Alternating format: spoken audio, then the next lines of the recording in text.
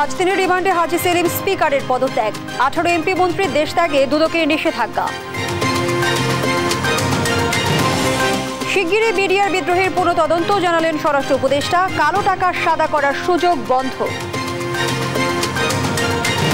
ভারতের মদদে স্বৈর শাসন চালায় হাসিনা, দাবি রিজভির। বিএনপি নেতা সালাউদ্দিন ও খোকনকে শোকজ। চীনের রাষ্ট্রদূতের সঙ্গে জামায়াত আমিরের বৈঠক, বাংলাদেশে আরও বিনিয়োগে চীন সরকারকে আহ্বান। বন্যা কেড়ে নিল সাতষট্টি প্রাণ, পানি নেমে স্পষ্ট হচ্ছে ক্ষতচিহ্ন বাড়ছে নানা রোগবালাই, বেহাল সড়ক।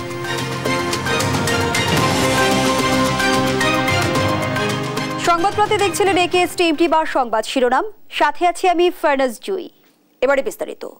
ছাত্র আন্দোলনে রাসেল নামে এক যুবক হত্যার অভিযোগে শেখ হাসিনাকে প্রধান আসামি করে আরও একটি হত্যা মামলা নিতে থানাকে নির্দেশ দিয়েছেন আদালত। আর আইডিয়াল কলেজের ছাত্র সাইফুল্লাহ হত্যা মামলায় সাবেক সংসদ সদস্য হাজি সেলিমের পাঁচ দিনের রিমান্ড মঞ্জুর করেছেন আদালত। বিস্তারিত ফজলে আদিত্যের রিপোর্টে।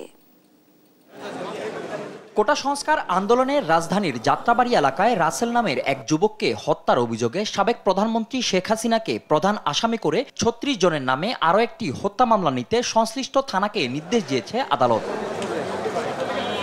দুপুরে রাজধানীর সিএমএম কোর্টে নিহত রাসেলের ভাই মোহাম্মদ রুবেল বিচারক সাদ্দাম হোসেনের আদালতে এই মামলা করেন। মামলাটির এই ব্যাপারে সমস্ত বক্তব্য শুনে এই ফুটওভার ব্রিজ ব্রিজের নিচে যে গুলির যে ঘটনা সেটি শোনার পর বিজ্ঞ আদালত সন্তুষ্ট হয়ে বাদীর বক্তব্য শুনে বিজ্ঞ আদালত সন্তুষ্ট হয়ে এই মামলাটিকে এফআইআর হিসেবে রুজু করার জন্য সংশ্লিষ্ট থানাকে নির্দেশ প্রদান করেন। এখানে আমার ভাইও ছিল।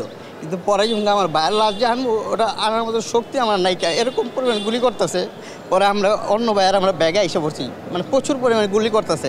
রাজধানীর আদাবর থানার মামলায় গ্রেপ্তার আওয়ামী লীগের প্রচার ও প্রকাশনা সম্পাদক আব্দুস সোবহান গোলাপকে দ্বিতীয় ধাপে তিন দিনের রিমান্ড দিয়েছে আদালত।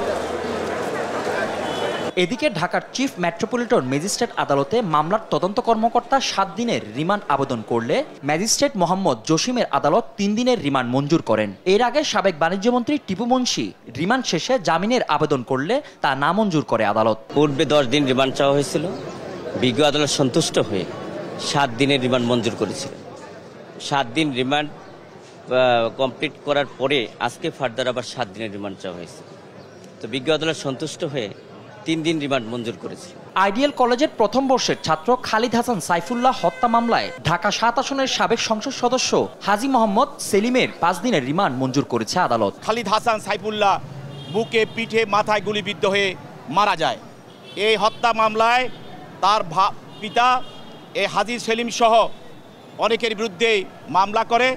তার মধ্যে এই মামলায় এজাহার নামীয় আসামি হলো হাজি সেলিম পঁচিশ নম্বর এজাহার নামে আসামি। তদন্ত কর্মকর্তা দশ দিনের রিমান্ড চেয়ে আবেদন করলে মেট্রোপলিটন ম্যাজিস্ট্রেট আক্তারুজ্জামানের আদালত শুনানি শেষে রিমান্ডের এই আদেশ দেন। রাষ্ট্রপক্ষ রিমান্ড চেয়েছিলেন দশ দিনের। আমরা বলছিলাম যে দশ দিনের যে রিমান্ড চেয়েছিলেন উনি তো বাঘ প্রতিবন্ধী উনি কথা বলতে পারছেন না। যেহেতু কথা বলতে পারছেন না উনাকে যদি রিমান্ডে না হয় আপনারা কি জিজ্ঞাসাবাদ করবেন? এর আগে রোববার রাতে রাজধানীর বংশাল এলাকা থেকে হাজি সেলিমকে গ্রেপ্তার করা হয়। ফজলে আদিত্য দেশ টিভি ঢাকা। দুর্নীতি দমন কমিশনের মামলায় এবার দেশ ত্যাগে নিষেধাজ্ঞা পড়ল সাবেক আঠারো এমপি মন্ত্রীর উপর। আলাদা আবেদনের পরিপ্রেক্ষিতে এই আদেশ দেন ঢাকা মহানগর দায়রা জজ আদালত। বিস্তারিত শিউলি রায়ের রিপোর্টে। আওয়ামী লীগ নেতা কর্মীদের অবৈধ সম্পদ অর্জনের বিষয়টি অনেকটাই ওপেন সিক্রেট। সবাই জানতো অথচ রোশানলের পড়ার ভয়ে মুখ খুলেনি কেউ। গেল পাঁচই আগস্ট স্বৈরশাসন অবসানের পর একের পর এক বের হয়ে আসছে থরের বিড়াল। সেই অবৈধ সম্পদই হয়ে দাঁড়িয়েছে তাদের গলার কাটা। অবৈধ সম্পদ অর্জনের অভিযোগে আঠারো জন সাবেক এমপি মন্ত্রীর বিরুদ্ধে মামলা করেছে দুর্নীতি দমন কমিশন। তাদের প্রত্যেকেরই দেশে বিদেশে কম বেশি সম্পদের হদিস পেয়েছে দুদক। তাই বিদেশে পালিয়ে যাওয়া ঠেকাতে এই আঠারো এমপি মন্ত্রীর উপর নিষেধাজ্ঞা জারি করেছে আদালত। আঠারো জনের তালিকায় আছেন সাবেক পররাষ্ট্রমন্ত্রী হাসান মাহমুদ, সাবেক আইসিটি প্রতিমন্ত্রী জুনায়েদ আহমেদ পলক, সাবেক তথ্যমন্ত্রী হাসানুল হক ইনু, আইনমন্ত্রী আনিসুল হক, স্থানীয় সরকার মন্ত্রী তাজুল ইসলাম সহ আরও অনেকে। এছাড়া নাটোরের দুই আসনে সাবেক সংসদ সদস্য শফিকুল ইসলাম শিমুলের বিরুদ্ধেও অনুসন্ধান শুরু করেছে দুর্নীতি দমন কমিশন।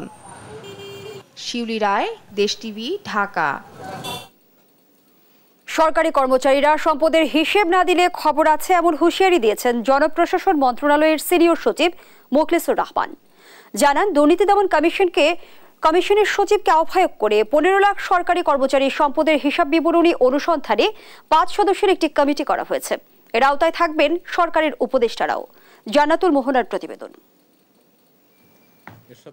সরকারে কর্মরত আছেন পনেরো লাখ কর্মচারী। রোববার জনপ্রশাসন মন্ত্রণালয়ের সিনিয়র সচিব স্বাক্ষরিত এক লাইনের নির্দেশনায় সব সরকারি কর্মচারীকে সম্পদ বিবরণী দাখিল করতে বলা হয়। এ নিয়ে বিস্তারিত জানাতে দুপুরে সংবাদ সম্মেলন করেন জনপ্রশাসন মন্ত্রণালয়ের সিনিয়র সচিব মোকলেস উর রহমান। ওখানে দেখবেন জানান সিনিয়র সচিব থেকে ড্রাইভার সবাইকেই সম্পদের হিসাব জমা দিতে হবে। বাদ যাবেন না উপদেষ্টারাও। নির্দেশনা না মানলে ব্যবস্থা নেওয়া হবে। ওই ড্রাইভার পিয়নের কি ট্যাক্সেবল ইনকাম তার ইটিন আছে? অথচ তার ইনকাম তো কোথায় কি হয়ে গেছে? কর্মচারী বলতে একদম যদি সিনিয়র সচিব ঢোকেন অথবা ক্যাবিনেট সেক্রেটারি মনে করেন মুখ্য সচিবের থেকে একটা পিয়ন চৌকিদার ড্রাইভার। সম্পদের হিসাব বিবরণের সত্যতা অনুসন্ধানে দুদক সচিবকে আহ্বায়ক করে পাঁচ সদস্যের কমিটি করা হয়েছে।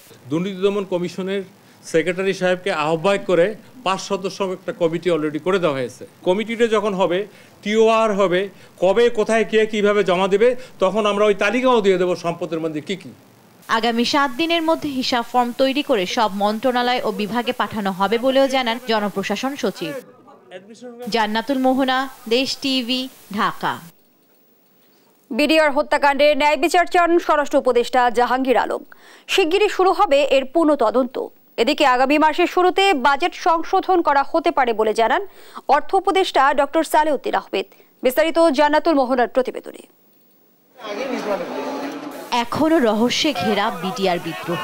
এটি কি কেবলই সৈনিকদের বিদ্রোহ নাকি অন্য কোনো ষড়যন্ত্র? পনেরো বছরেও মেলেনি এর সদত্তর। তবে এই হত্যাকাণ্ডের পুনঃতদন্ত ও ন্যায় বিচার প্রক্রিয়া শীঘ্রই শুরু হবে বলে জানান স্বরাষ্ট্র উপদেষ্টা জাহাঙ্গীর আলম।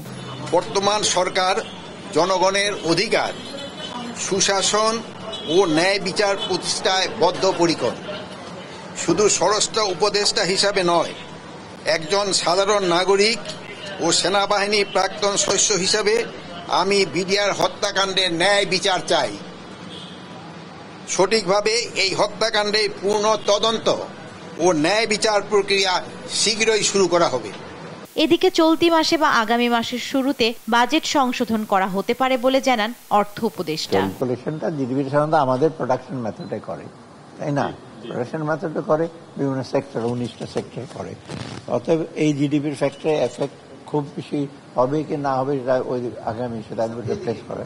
প্লেস করার জন্য বলেছি, ওটা আপনি জানতে পারবেন। আমরা টাকাটাই এমন মিস হ্যান্ডেল করি, এই ইসের মধ্যে লুঙ্গির মধ্যে গুঁজে দিই। এই মানি ব্যাগের ভাজ হয়ে যাবে এগুলো হয়, এগুলো আমরা চেষ্টা করেছি, আমার সময় থাকতে টাকাটা আরও ডিউরেবল করা যায় না। অতএব এটা যত তাদের রিপ্লেস করে।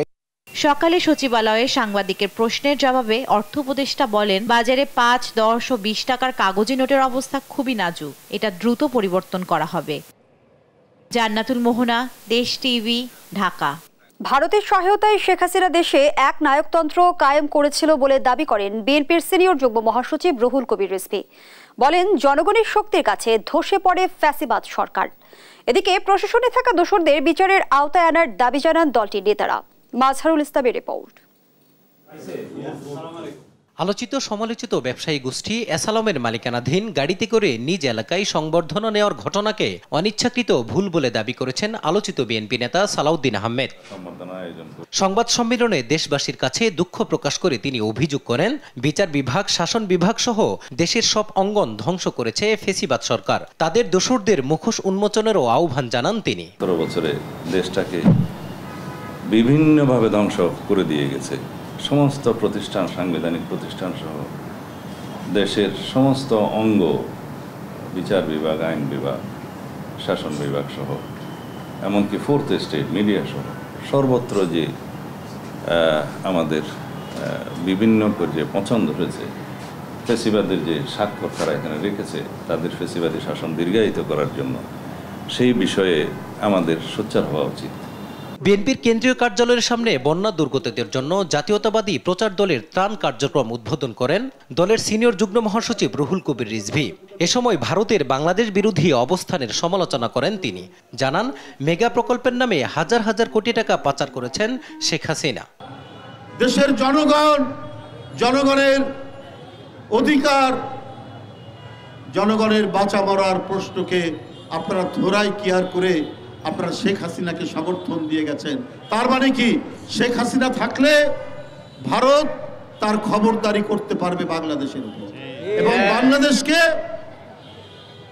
ভারত মনে করবে শেখ হাসিনা আমাদের প্রতিভু। অতএব বাংলাদেশ তার স্বাধীন অস্তিত্বের দরকার নাই। একটাই অস্তিত্ব দরকার শেখ হাসিনার অস্তিত্ব। এই কারণেই তাকে আপনারা সমর্থন দিয়ে গেছেন। জাতীয় প্রেস ক্লাবের সামনে অবস্থান কর্মসূচিতে গণহত্যার দায়ে শেখ হাসিনা ও তার দোসরদের বিচার দাবি করেন বিএনপি নেতা জয়নাল আবদিন ফারুক। আওয়ামী ক্যাডারদের কাছে থাকা অবৈধ অস্ত্র উদ্ধারেরও দাবি জানান তিনি। বুঝি হাসিনাকে বাংলাদেশে এনে বিচার করতে। মাঝহারুল ইসলাম দেশ টিভি ঢাকা। Amazing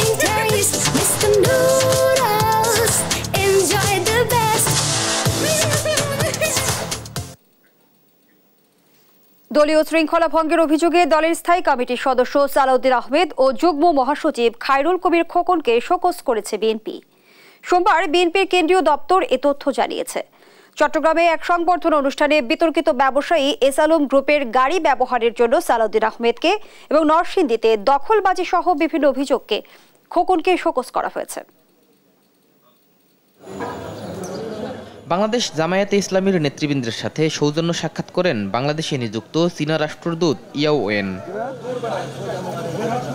সাক্ষাৎ শেষে জামায়াত আমির ডাক্তার শফিকুর রহমান বলেন, দুই দেশের সম্পর্ক জোরদার করতে সম্ভাব্য সব বিষয়ে আলোচনা করেছেন তারা।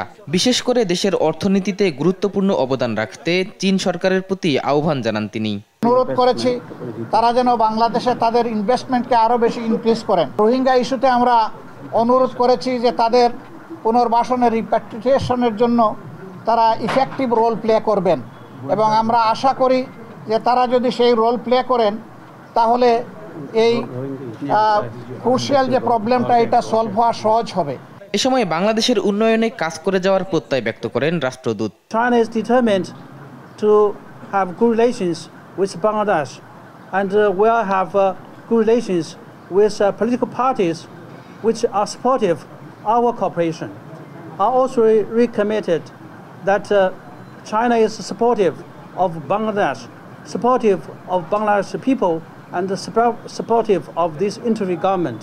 এদিকে বিটিভি ভবনে কর্মকর্তাদের সাথে সৌজন্য সাক্ষাৎ করে জামায়াত ঢাকা দক্ষিণের সেক্রেটারি ডক্টর শফিকুল ইসলাম মাসুদ বলেন বিটিভিকে জনগণের টিভি হিসেবে দেখতে চান তারা বাংলাদেশ টেলিভিশন থেকেই কিন্তু গণমাধ্যমকে আমরা শিখেছি এবং বলা যায় যে এখান থেকে অনেক সংবাদকর্মীরও উত্থান ঘটেছে বা তাদের প্রশিক্ষণ বা তারা তৈরি হয়েছে এখান থেকে। কিন্তু অত্যন্ত দুর্ভাগ্যজনকভাবে বলতে হবে যে বিগত সাড়ে পনেরো বছরে এই বাংলাদেশ টেলিভিশনের মতো একটা গুরুত্বপূর্ণ গণমাধ্যমকে ব্যক্তি এবং পরিবারের একটা গণমাধ্যমে পরিণত করা হয়েছিল। সমৃদ্ধ দেশ গড়তে গণমাধ্যমের অবদানের কথাও তুলে ধরেন জামায়াতের এ শীর্ষ নেতা।